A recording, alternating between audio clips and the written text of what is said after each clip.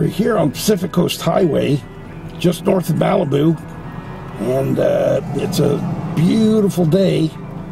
And we're just about to turn off of PCH onto Encinal Canyon Road and go on up into the Santa Monica Mountains National Park or State Park and take a look at Charmlee Park, one of my favorite uh, botanical hot zones.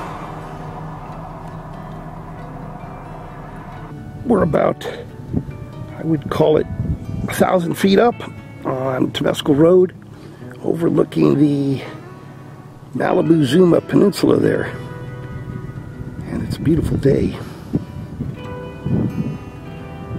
And you come up into the hills here, and it rises up about to about 1,800 feet, I guess. Here's the entrance. Charmlee Wilderness Park. And uh, I've spent a lot of time here. This is my favorite. Uh, you know, there's a number of parks that comprise Santa Monica Mountains state parks and national park system. And uh, they have trails, they have some overnight camping. But this is a particularly nice one because you've got this uh, wide variety of native botanical resources on this uh, mountain above the sea.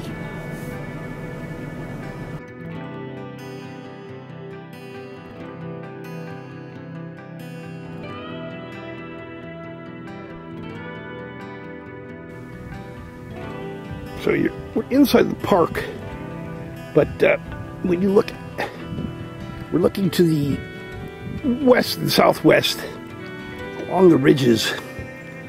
Quite a bit of that near the coast here is private land.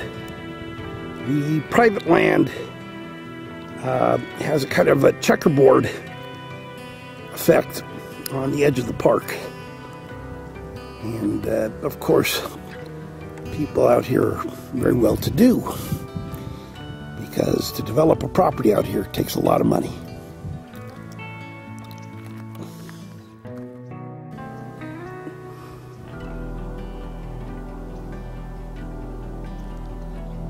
And we're panning down and that that uh, appears to be a distant mountain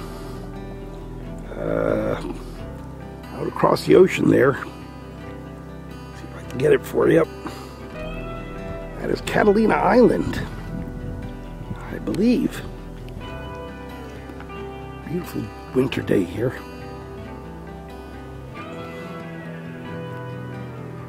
And uh, some of these uh, coastal oaks, these coastal scrub oaks are just stunning. I don't know, 200, 300 years old, maybe older.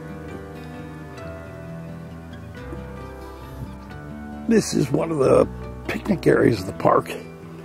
What you have here is a demonstration garden uh, landscaped by the park uh, rangers, by the park employees of the a wide variety of the native plants of Santa Monica uh, Mountains. You've got uh, sage, and you've got uh, chumash, and uh, this is the the uh, legend or uh, diagram of the Charmlee Wilderness Park Native Garden. And I don't know that I can get a good shot. It's kind of uh, bleached out by the sun. And uh, the garden is rather overgrown. But they've made an effort to let people learn about the native plants. So we, we've got some manzanitas, some ceanothus, some yucca, some opuntias, and uh, looks like some kind of a laurel, I don't know, manzanita, sage, lots of good stuff in here.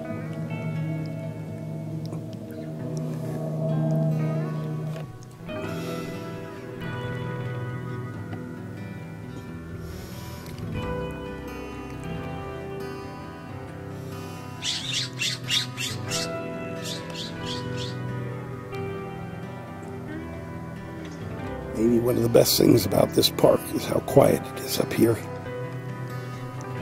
hear a distant car now and then, a couple woodpeckers. But it's a great place to come and uh, meditate. It's only about 40 minutes outside the insanity of Los Angeles. Beautiful native opuntia back there, uh, beyond what looks like a very large ceanothus, which has dropped its leaves for the winter.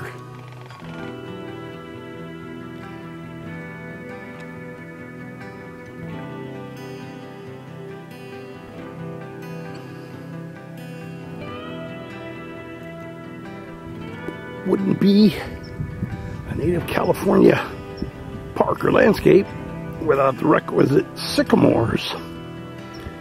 These are uh, these get to be very old, very large, fantastic trees. They withstand all the drought in California. And but people sometimes make a mistake of planting them close to a house. And if they're even within sort of 50 feet of a house, the roots will seek out and destroy your plumbing. So these are great trees. Don't put them near your house. So here is a uh, photographic map or legend of the park itself. I'm not sure how big it is, but the uh, park is, of course, this Charmlee Park, Charmlee Wilderness Park. It's surrounded by private property to the south and west, and then to the north and east is the state or national park.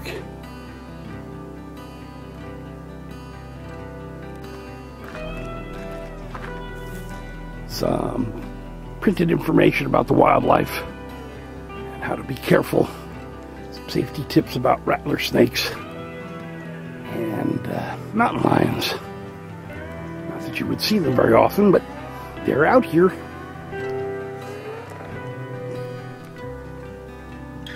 And uh, here's an example of one of these fantastic private residences properties across from the park. They've got like a huge, looks like a, a soccer field or just a grass area